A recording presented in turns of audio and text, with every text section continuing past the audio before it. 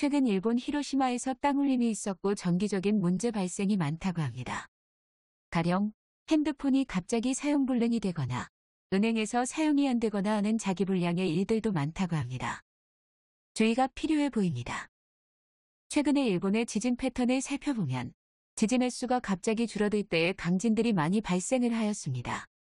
먼저 동일본 대지진과 구마모토 지진이 그러하였고 작년 10월에 도쿄의 규모 6.1의 강진 발생 전에도 지진 횟수의 감소 현상이 발생을 하였습니다.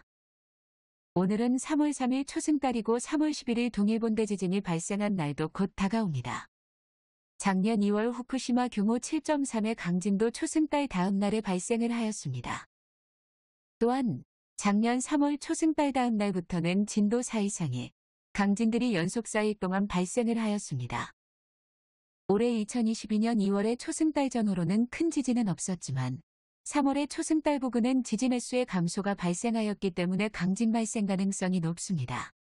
최근 일본의 지진은 오키나와 홋카이도 내으로 쿠릴열도에서 강진들이 발생하고 있으며 이것은 오키나와 남쪽에서 시작하여 홋카이도 내무로와 쿠릴열도 북쪽으로 균형을 잡는 것으로 보여집니다.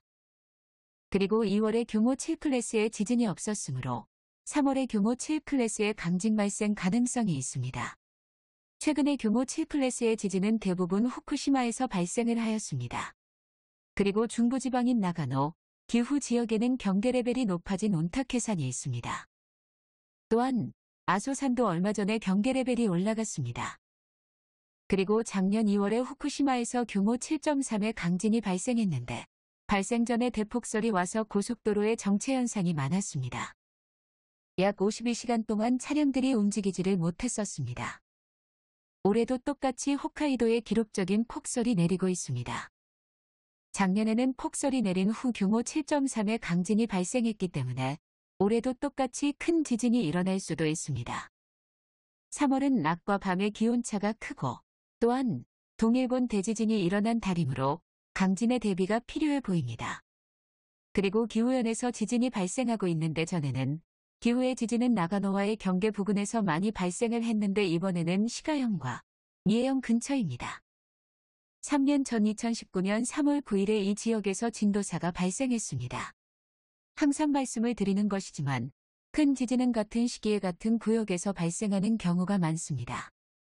작년엔 2월에 후쿠시마에서 규모 7.3의 강진 역시도 3월에 일어난 동일본 대지진과 비슷한 시기입니다.